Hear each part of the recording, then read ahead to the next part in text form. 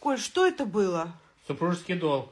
Коля, 32 секунды – это не супружеский долг, это какая-то милостыня.